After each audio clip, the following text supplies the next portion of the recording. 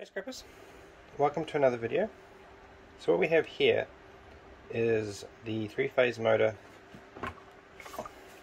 out of one of these exercise bikes. And As you can see 1.5 kilowatt at 1000 RPM, three-phase.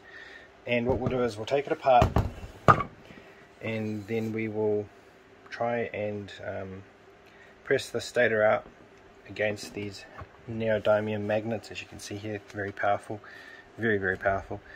And what we did over the weekend is my father and I we got one of the exercise bikes. As you'll see um, after the segment is we got one of the exercise bikes put up here and we attached a little light bulb to it. And um, yeah as I said in the previous video you're able to use this as either a motor or a generator. And you'll see in those segments just how much we were able to generate just by hand cranking it. So what we'll do in the future is we'll set one of these bikes up and we'll use our legs to see how much more power, sorry, more voltage we can generate out of these motors. Sorry, these generators. Right.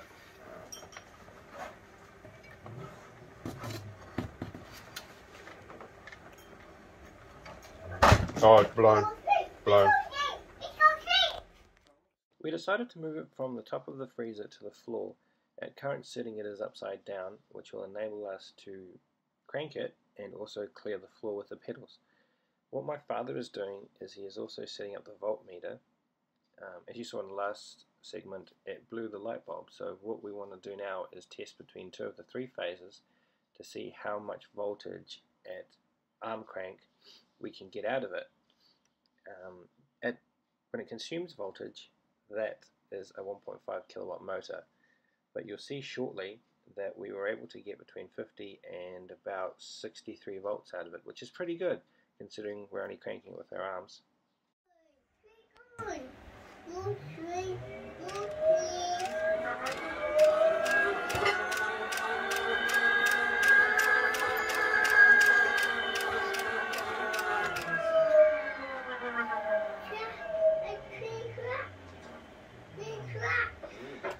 Now is we will continue to remove these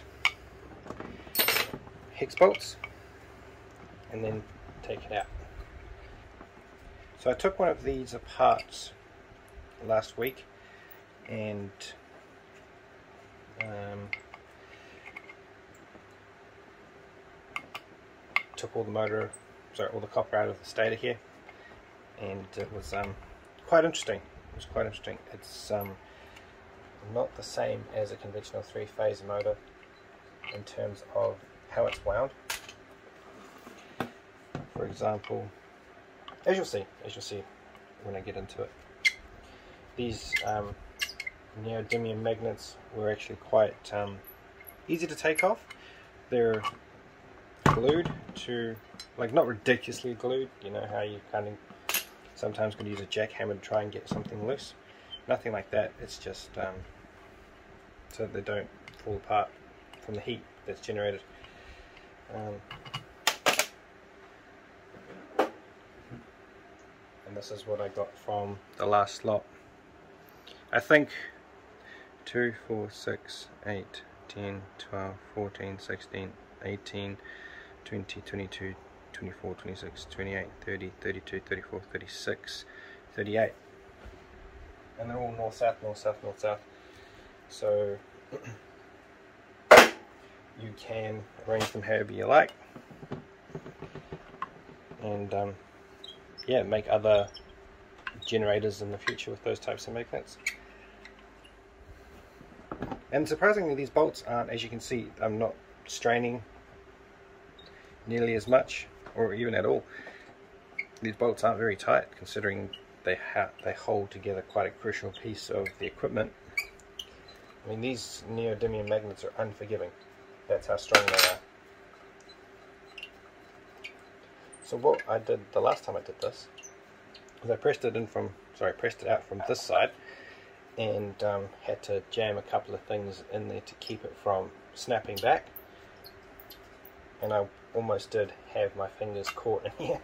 So as you'll see, I'll try and use my thumbs to push it. And you see it's going protruding out the top there. What we need to do is once that's like so, we need to um, pry it or keep it from sinking back in towards the magnets. So, these magnets are, are ridiculously powerful. Ow, what they are.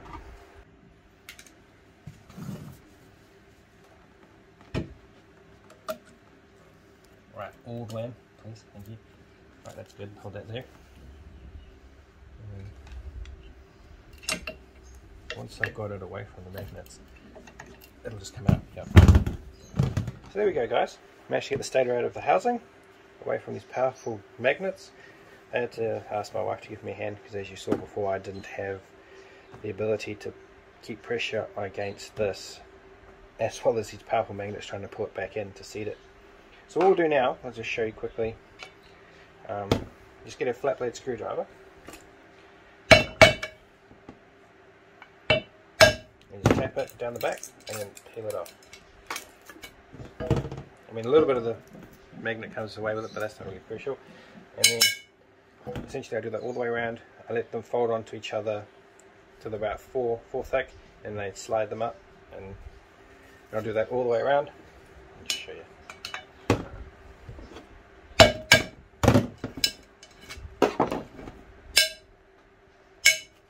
maybe even just three thick. Four thick's probably too powerful.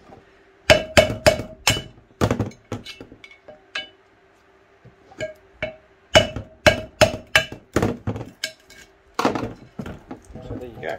I just clean all the loose bits off. And these are now really powerful magnets. So what I've done guys is I've cleaned all the um, insulating material off of it. Um, lifted it all up so that it makes it easier, easier for it to be unwound and we'll get into it and make a start.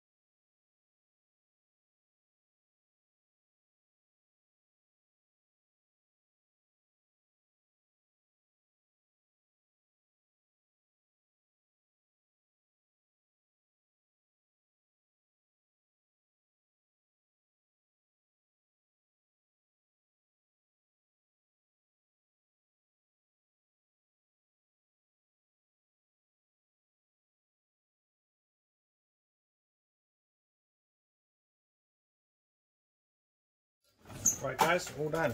All unwound. See how much we did in 4 minutes and 42 seconds.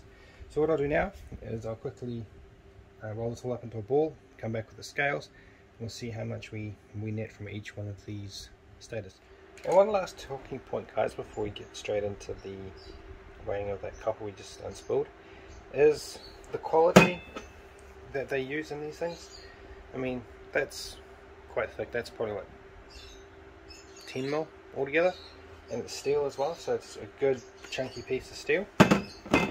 Um, the frame here this is aluminium. As you can see all that is um, as, you, as you can see down there I just because I couldn't figure out a way to knock this out so I could just as this piece of steel here too but I couldn't find a way to knock that out so that I could take the whole thing off as one. So I just um, saber sword down the middle and yeah this is a nice piece of aluminium. Same with the legs here. This is the feet too. They're all nice aluminium as well. And the pedals too. Or something rather the, the stalks that the pedals attached to. And then the rear sprocket, sorry the front sprocket. It's all aluminium as well. Uh, where's my magnet? So yeah. And then you have the internals and then the stator. This is not the one, this is the one I did last week. I took all the plastic off just to make a little bit worth more. And then finally all these nice um, bolts and stuff and nuts. They predominantly came out of this one. that is magnetic. It looks like stainless, but there's a little bit of a um, magnetic attraction there. Here we are, guys. Last but not least, the weigh up for the, the copper.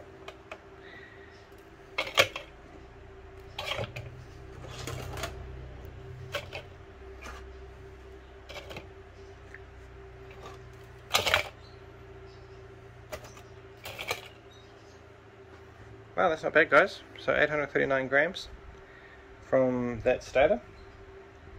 And as I said before previously, all that value from the aluminium and the steel. So I think these bikes are actually well worth the um, the effort to take them all apart. And as you know, because I'm a micro scrapper, I will try and get as much value out of it as I can. So what we'll do guys, is next week's video, we'll be getting into these massage guns, seeing what they are comprised of. Um, the motors, see what the quality of them are, and see if they're worth um, stripping down or, well, I'll strip them down regardless because I enjoy it, but whether or not they're actually worthwhile. There are batteries in them, there are lithium batteries in them, so that's another thing to be wary about. Um, so yeah, I hope that was a bit of fun for you all guys. Thank you all for joining me. Look after yourselves, and I'll catch you all next time. Cheers!